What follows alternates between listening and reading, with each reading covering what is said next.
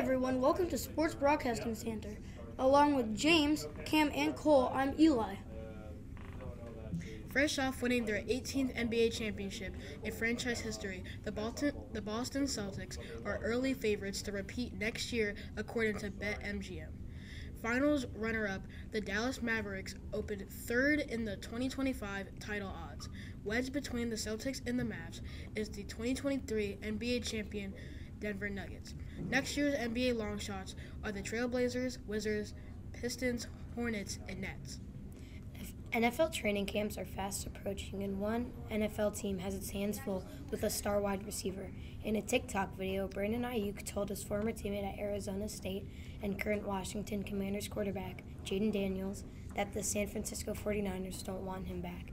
Aiyuk is negotiating a contract extension with the Niners. He led the team in catches and yards last season, but is very clearly frustrated. Even though the 49ers brass had repeatedly said they expect the talent um, wide out back with the team. Former LSU national championship coach Les Miles has filed a lawsuit against the school, the NCAA, and the National Football Foundation.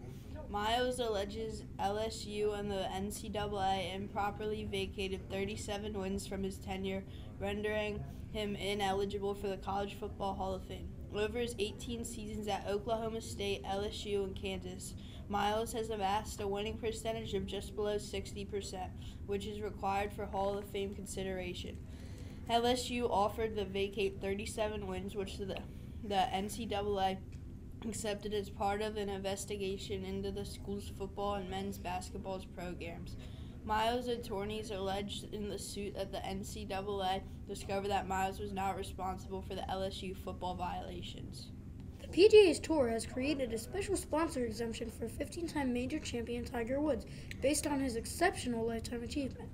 The sponsor exemption allows Woods, an 82 time winner on the PGA Tour, to participate in eight signature events that he would not likely qualify for because he isn't playing enough competitive golf. The combined purse of the eight events is $20 million. Woods suffered a serious injuries in a car accident in February 2021 and has been forced to limit his schedule. The Super Bowl champions Kansas City Chiefs might have a new home.